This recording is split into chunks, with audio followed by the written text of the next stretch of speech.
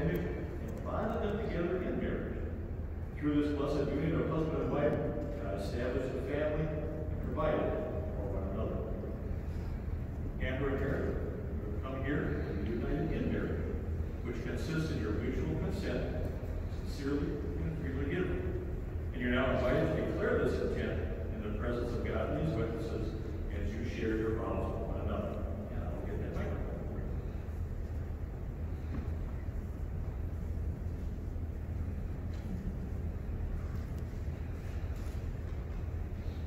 There you go.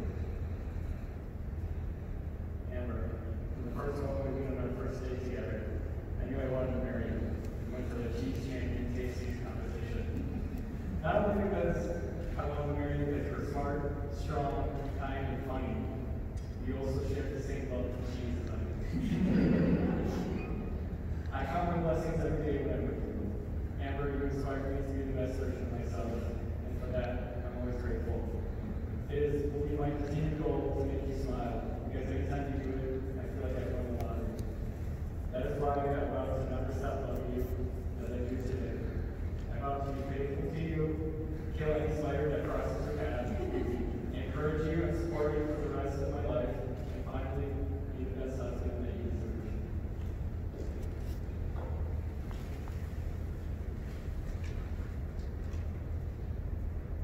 Eric, it's been 558 days since our story officially began, but it was the time leading up to February 26th that you became more to me. I remember specifically after shows one cold winter night looking at you and a new light thinking, who is this guy really?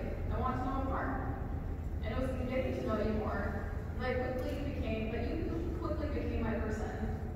I'm the most indecisive person in the world, but the easiest decision I've made in life is picking you.